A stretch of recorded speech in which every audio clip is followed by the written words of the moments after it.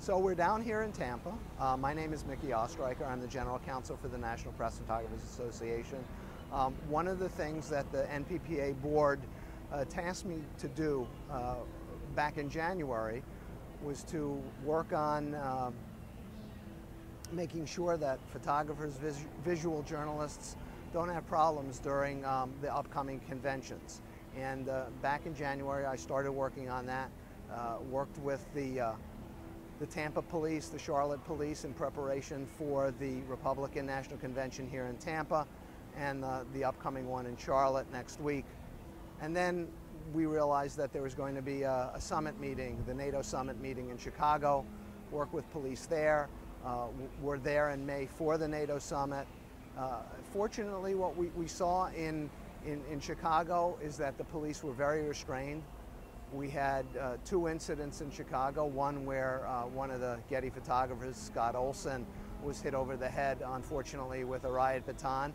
Uh, but he fortunately was okay and continued working. Another Getty photographer, Joshua Lott, was arrested. He was originally charged with a fairly serious uh, felony, uh, mob action. Uh, fortunately, working with the Reporters Committee for Freedom of the Press and the contacts that we had made with the police department. Within 20 minutes of his arrest, we were able to have those charges reduced down to reckless conduct, which uh, is, is a misdemeanor, and, and we're working to get those charges dismissed, and, and we were able to get Joshua out of jail in a few hours. Uh, what we've seen here in Tampa is pretty much the same thing. Uh, I've been in contact with a public information officer for the Tampa Police, as well as the Hillsborough County Sheriff's Department. Um, they very much uh, took the information that we provided in the training to heart. And uh, I, I, don't know whether to attribute what's been going on to the fact that we might have had a, a possible hurricane here, the fact that there are not that many protesters, uh, the fact that maybe uh, some of the information we provided on First and Fourth Amendment rights um, was helpful. But whatever it is, we've really seen uh, the fact that they've uh, really treated journalists very well here and, and been very friendly and accommodating. So uh, I don't want to jinx anything since it's only Tuesday and there are two more days left of the convention, but so far so good, and, uh, and I hope that continues in, in Charlotte as well. Yeah, talk about the National Press Photographers Association. We, we, had some talk last night where with um, Joel Chandler thinking that it's only for staff photographers. I know a lot of people um, think that the NPPA, the National Press Photographers Association, is only for staff photographers at newspapers and television stations. And, and while uh, our membership was made up mostly of staff photographers many, many years ago, uh, obviously the nature of our business has changed, and, and that's not true anymore. And as more and more staff photographers are losing their jobs, being laid off, as companies downsize, uh, more and more of our members are freelancing. And, and then we also have uh, new members. We have lots of student members. We're obviously hoping for more. Students who are looking for mentoring, uh, looking for guidance, looking for advice, uh, critiques of their work in, in both uh, stills and video and multimedia. And, and we offer a lot of uh, resources. we do a business blitz where we talk about you know, the cost of doing business.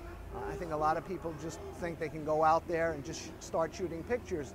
And maybe they can, but it's just as important to make sure that you're earning a living doing it and that you're not losing money because if you are, uh, it, it, won't be long before you decide that you maybe need to do something else. So really the, the, the one major um, requirement that we have of people that want to become NPPA members is the fact that they are willing to abide by our, our code of ethics, which talks about openness and honesty and, and transparency in, in, uh, in, visual journalism, uh, to be ethical, to not manipulate images, to not influence uh, and stage things. It's a, it's a fairly short um, uh, code of ethics. It's not like a long terms and conditions that most people have to click on and sign when they want to go and, and, and become part of, you know, Twitter or AOL or something like that. So, you know, I, I have been a member of NPPA myself since 1973.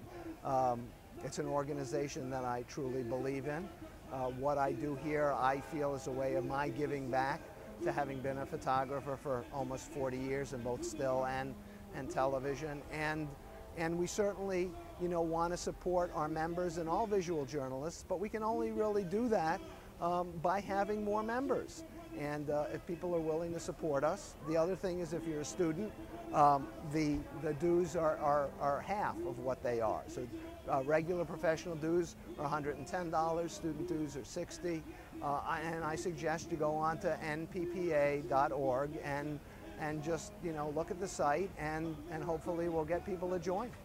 Now Mickey, tell us what's going on behind you. There's a lot of action behind you that everyone's starting to suddenly started to walk and they're organizing.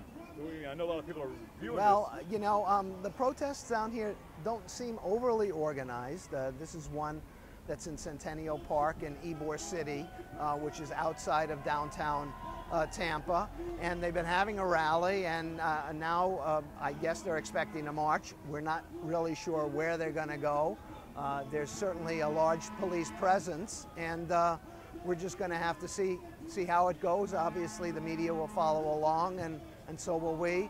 And Carlos looks like he's getting anxious to start shooting what's going on, so I'll be quiet. Yeah, yeah. Will you watch my tripod, Robert? Yeah, I'm gonna head out. They're jumping on the